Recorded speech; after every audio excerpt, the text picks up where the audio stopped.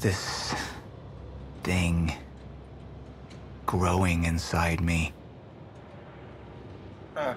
I've been fighting it for six hard years. Ah.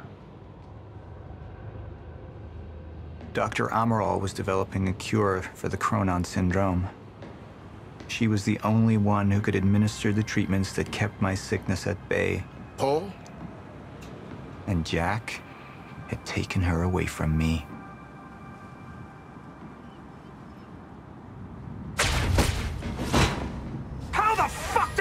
Did Martin?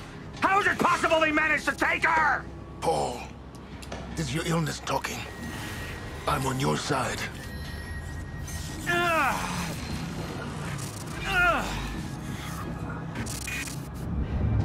Easy. You're... They took her. Without Sofia, there's no chance of a cure. We did all we could. But there are forces within Monarch working against you, and I believe Burke was just the tip of the iceberg. It wasn't just Joyce that did this. Sir? Uh, we've recovered Dr. Amaral's laptop. We have it set up over there if you want to take a look. I'll be right there. Wow, someone's getting all fucking sassy.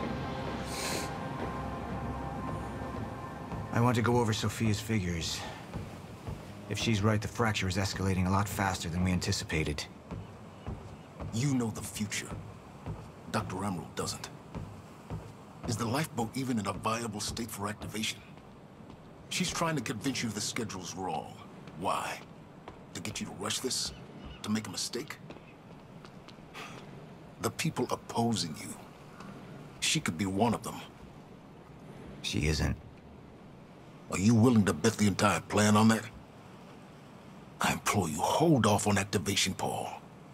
Let me clean house before this gets completely out of hand. How do you want to proceed?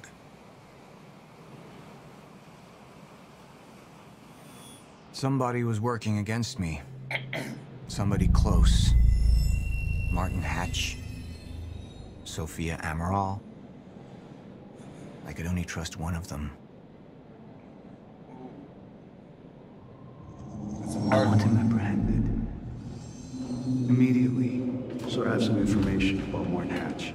Martin had been my closest advisor for years. I began to wonder if that had been a mistake. Sofia's loyal. She's always been loyal. I don't think we can trust her. The way she looked at the countermeasure like she's seen it before. She knows what it does. Sofia's research had saved my life. Loyalty doesn't run any deeper.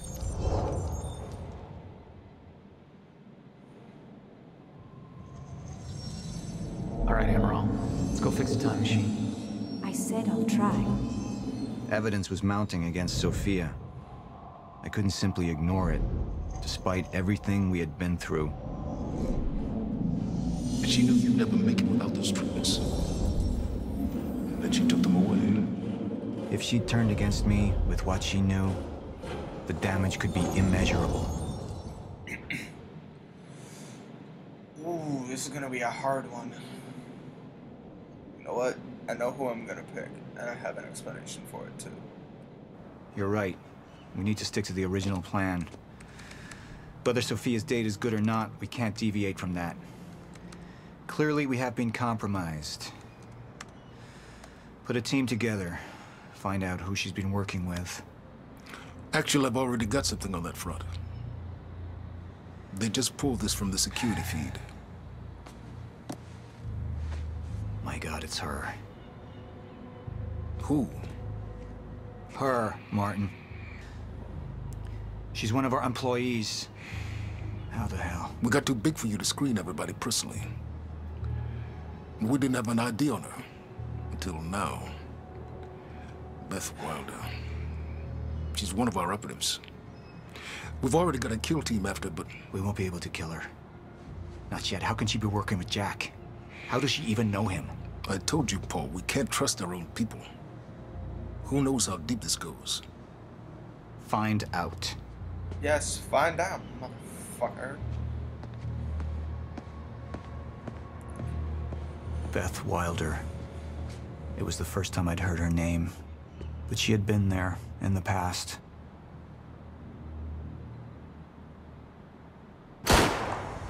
When it all started.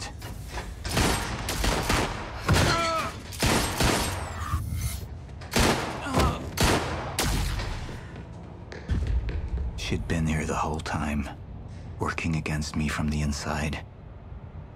And she wasn't the only one.